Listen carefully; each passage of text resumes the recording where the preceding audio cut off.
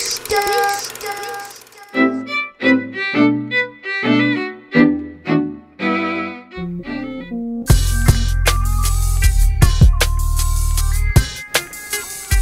up, man? Your boy Beestroh kicking it right here in the kitchen, doing it up. It's called Beestroh's Bistro. Today, I'm gonna show you how to make something real simple, fellas. Collard greens, yeah.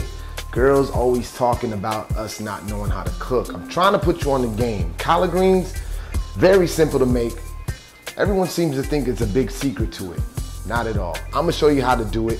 One thing you gotta remember though, as you cook, keep a clean kitchen. When you're done cooking, you want to enjoy your food. You don't want to have to clean up here or look at a mess after you're done eating. So, as you cook, make sure you clean. Helpful hint from your boy, all right? So we're gonna get into these collard greens. Trust me, dog, I'm doing you a favor. Pay attention to this, all right? Beestroh's Bistro, man. Welcome to my kitchen. Let's go.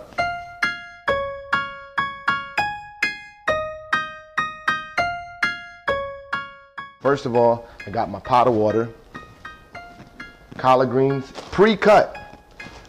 I might, I might later on take you through the steps on how to cut and prepare them, but for now, let's start easy. Pre-cut, easy, in the bag, already done.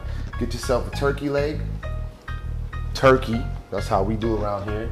Cutting board, oil, salt, really simple. I take it to the next level. I like to add a little crushed red pepper to mine for a little zing. And then I got my secret sauce right here, I don't want to show you that right now. But we're to get into it. I'm to show you how to do this, all right? Let's go. Got our boiling water. What you want to do is bring your water to a boil. Fill it up about three quarters away. Get yourself a good knife. Right now, what we're to do is concentrate on the turkey. So what you want to do, you want to take all the meat off the turkey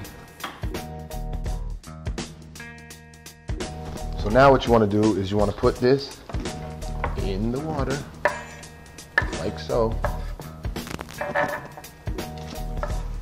Boom. That's the key to your flavor right there, the turkey. Now, what we're gonna do is add salt to this base right now. Get yourself some measuring spoons. This is uh, one tablespoon. So you wanna use salt. Try to stay away from salt too because we all know high blood pressure is really, really big in black community. So get yourself a tablespoon of salt. Like that. Sprinkle it around in there. Boom. Now, the thing is, it's all about taste. So you might have to go back and add a little salt, but it's always better to put not enough than too much. Feel me? Add a little bit of oil, Crisco. Once again, another tablespoon of that. Boom. What this does is it gives the greens a little texture. They're not as leafy. It kind of takes on like a, a, not a greasy, but an oily type of thing. So good money right there. Let that boil. They're pre-cut and washed, but you still you still want to wash your stuff. So Stick that in there.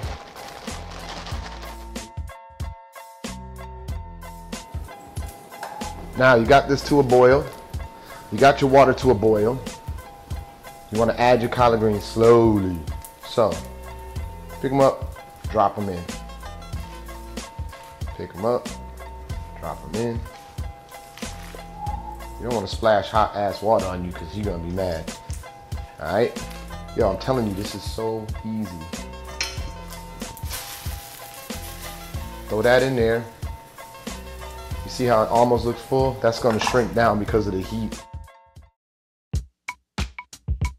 Boom, so there you have it. Collard greens made easy, courtesy of yours truly. Yeah, your boy Beestroh. Beestroh's Bistro. This is my kitchen. This is what I'm gonna do for you, all right? Now, whether you're single, got a girlfriend, married, all the ladies will definitely appreciate this, all right? So make sure you step your cooking game up. Plus, it's getting cold, so that's a good way to ah, reel them in. All right. Now I'll be making a lot more dishes, so all you got to do is pay attention every time you see it on Twitter at Beestroh, on my Facebook Beestroh Manteca, or check me out bistro.com. That's my favorite place to be. Collard greens made easy once again.